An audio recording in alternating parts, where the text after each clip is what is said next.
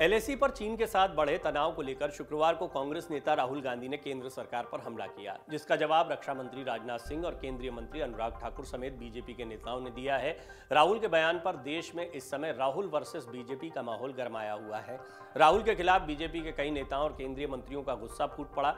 आगे की रिपोर्ट में हम बताएँगे कि रक्षा मंत्री ने राहुल को क्या नसीहत दी और अनुराग ठाकुर ने क्यों देश में 300 तरह के हथियार बन रहे हैं, ये है आत्मनिर्भर भारत, इस बात को कहा। लेकिन सबसे पहले जान लीजिए कि रक्षा मंत्री राजनाथ सिंह ने क्या कुछ कहा है।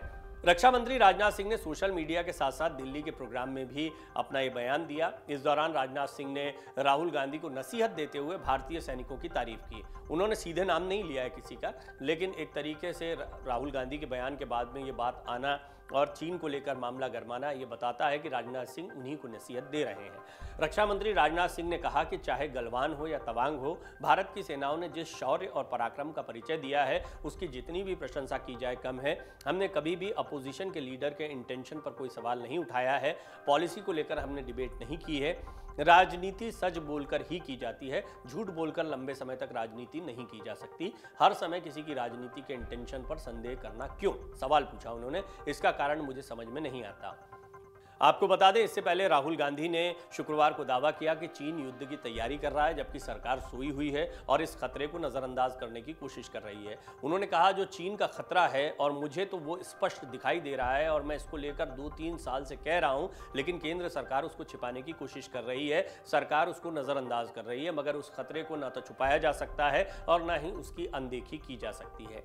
राहुल गांधी ने आगे कहा कि चीन की पूरी तैयारी चल रही है। उनका लद्दाख की तरफ़ और अरुणाचल की तरफ़ पूरी ऑफेंसिव प्रिपरेशन यानी युद्ध की तैयारी चल रही है। हिंदुस्तान की सरकार सोई हुई है। उन्होंने ये भी कहा कि बात को हिंदुस्तान की सरकार सुनना नहीं चाहती है, मगर उनकी, यानी चीन की तैयारी चल रही है। तैयारी युद्ध की है, तैयारी कोई घुसपैठ की नहीं है, तैयारी युद्ध की चल रही है।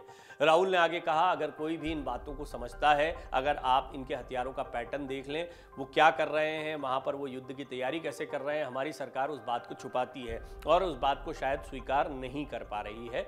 राहुल गांधी ने जो कुछ भी कहा, उस पर कई बीजेपी के नेताओं ने पलटवार किया। इस पर एक डिटेल रिपोर्ट हमने आपको दिखाई है।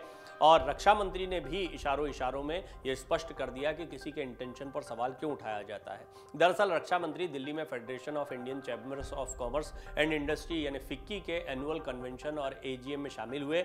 इस दौरान उन्होंने कहा कि हमने कभी विपक्ष के किसी नेता की मंशा पर कोई सवाल नहीं उठाया है। सवाल उठाए हैं तो नीतियों को लेकर उठाए हैं। मैं बहुत ही विनम्रता पूर्वक निवेदन करता हूँ कि हमने भी कभी विपक्ष के किसी नेता की मंशा पर सवाल नहीं उठाए।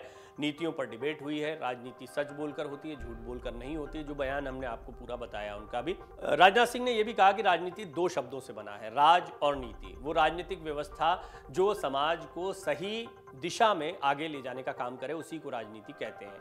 हर समय राजनीति में किसी के इंटेंशन पर संदेह करना इसका कारण मुझे समझ में नहीं आता। अब बात कर लेते हैं केंद्रीय मंत्री अनुराग ठाकुर की। उन्होंने क्या कुछ कहा इस मुद्दे पर? अनुराग ठाकुर ने कहा, राहुल गांधी के बयान पर मुझे हैरानी नहीं होती क्योंकि जब डोकलाम की घटना हुई थी और सर्जिकल स्ट्राइक की गई थी, तब भी राहुल गांधी ऐसे सवाल उठाते दिखाई दिए थे। शायद राहुल गांधी को हमारी सेना पर भरोसा नहीं है।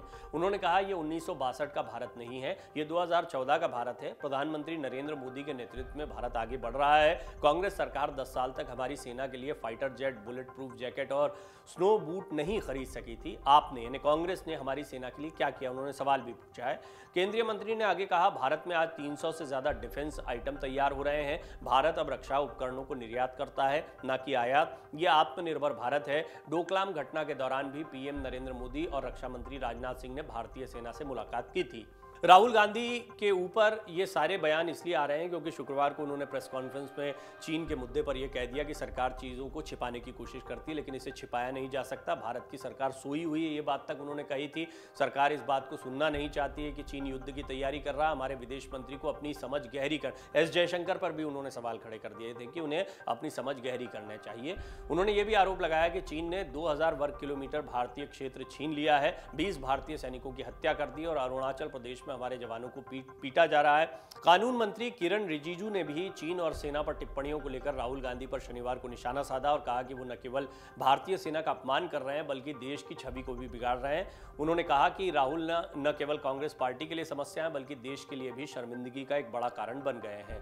वहीं बीजेपी प्रवक्ता गौरव भाटिया ने कहा, मैं राहुल गांधी को बता दूँ कि ये उन्नीस वाला भारत नहीं है। भारत की एक इंच ज़मीन भी न किसी के कब्जे में है और न किसी की हिम्मत है कि वो कब्जा कर ले। विश्व की सबसे वीर सेना हमारे पास है। कूटनीतिक तौर पर हम सक्षम है। ऐसे में संभव ही नहीं है कि कोई हमारी एक इंच भूमि पर भी कब्जा कर ले। भारतीय सेना हमारा गुरूर है। जो जवान सीमा पर चीन की सेना सेना को पीट रहे हैं, उनको अपनी ताकत दिखा रहे हैं। ऐसे समय पर भारत के जयचंद ये शब्द का इस्तेमाल किया है। गौरव भाटिया ने राहुल गांधी हमारी सेना का मनोबल तोड़ने का काम क्यों कर रहे हैं? तो चीन को लेकर अब भारत में भी सियासत गर्माती दिखाई दे रही है। राहुल गांधी ने इस पर कई गंभीर सवाल खड़े किए। उसके बाद केंद्रीय रक्षा मंत्री हों, केंद्रीय मंत्री अनुराग ठाकुर हों या बीजेपी के अन्य नेताओं हों, सभी के निशाने पर राहुल गांधी दिखाई पड़ रहे हैं। डाउनलोड करें अमर उजाला ऐप और पाएँ खबरें लगातार।